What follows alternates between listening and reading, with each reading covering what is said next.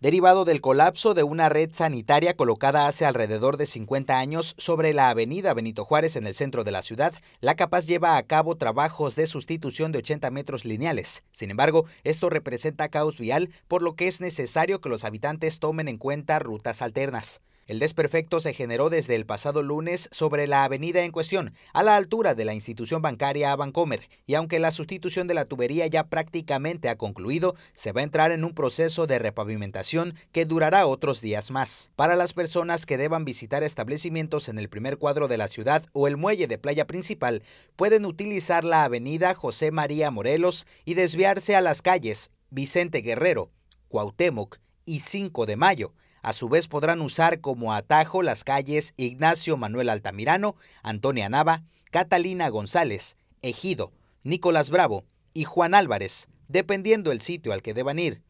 Los automovilistas que se conduzcan a la altura del paseo de la Boquita y requieran dirigirse a los mismos puntos, es preferible que se desvíen en el camino Las Palapas del Parque Solidaridad o metros antes en la calle Los Limones e Higos, Posteriormente podrán usar las calles de los alrededores para llegar a su destino. Si es necesario acudir a establecimientos que se ubican sobre la avenida Benito Juárez, es recomendable que los automovilistas dejen sus vehículos estacionados en calles alternas y que se conduzcan a pie para evitar el tráfico.